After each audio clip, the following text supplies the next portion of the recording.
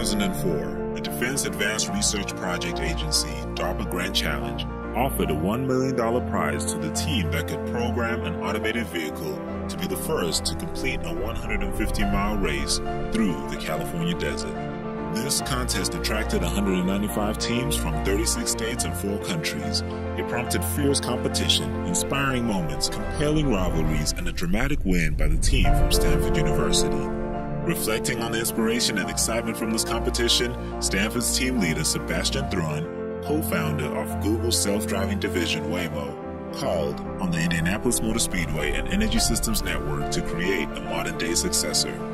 With Thrun's call to action, Energy Systems Network held a workshop at the IMS on May 23, 2019, as the first step in what is becoming the Indy Autonomous Challenge. For me, the most challenging and interesting aspect of the race day is going to be able to see a fully autonomous race car driving literally at the edge of its control and traction.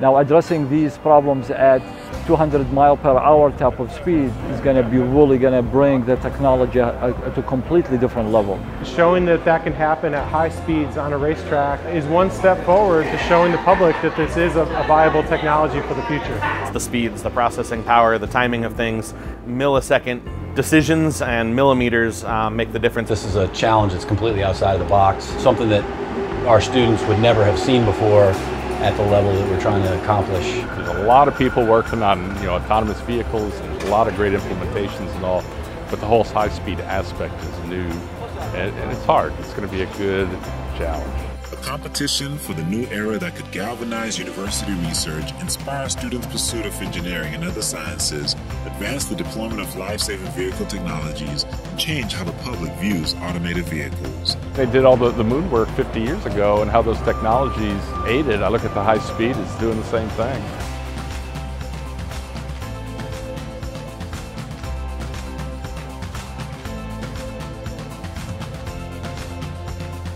Automotive technology is born on the racetrack. The idea of developing that technology here at Indy and through racing is a, is a perfect fit.